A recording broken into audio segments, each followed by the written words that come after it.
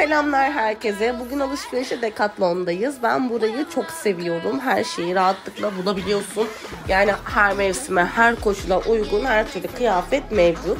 O yüzden de çok seviyorum. Çocuklar da yarın yüzme kursuna başlıyorlar. O yüzden de Decathlon'a alışverişe çıkalım dedik. Fakat inanılmaz bir trafik vardı yani Eskişehir'de bugün.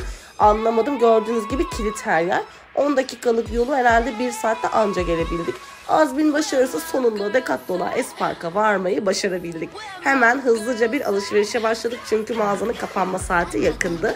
Birer tane deniz gözlüklerini aldım. Arkasından mayolarını, bonesini ve havlularını da tamamladım. Fakat aradığım bazı şeyleri bulamadığım için oradan filoya indik. Oradan şu minnoş terlikleri de aldım. Bunlara bayıldım yani gerçekten. Sonrasında hızlıca tamamladıktan sonra alışverişimizi eve dönüş yolunda da trafik çok olur diye düşüncesiyle hızlı bir şekilde çıktık. Allah'tan dönüş yolumuz sakindi. Sağ salim eve varmaya başarabildik.